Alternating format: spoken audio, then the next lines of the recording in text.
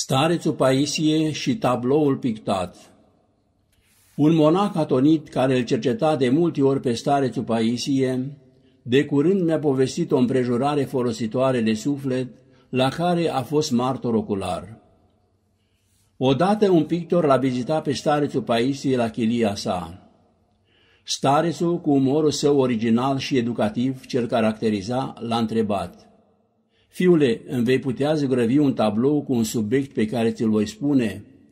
Vreau să mi-l pun în chirie. Gheronda, cu multă bucurie, i-a răspuns pictorul foarte încântat. Aceasta este meseria mea. Ce vreți să cuprinde tablou pe care îl doriți? Poți picta câțiva munți? Foarte ușor, a răspuns pictorul. Poți picta și câțiva copaci de care îți voi spune eu? Desigur, Gheronda, după ce Sarge i-a spus și alte câteva lucruri pe care voia să le aibă tabloul, la sfârșit l-a întrebat. Poți zugrăvi și o cișmea din care se curgă apă? Bine, Gheronda, dar acest lucru nu este deloc greu pentru mine, a răspuns cu simplitate pictorul.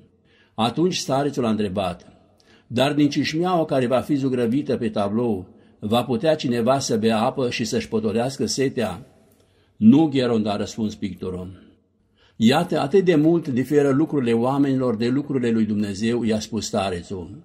Deci dacă cineva nu-și poate potoli setea cu apa unei cișmele zugrăvite, cu atât mai mult nu-și poate potoli setea din lucrurile oamenilor.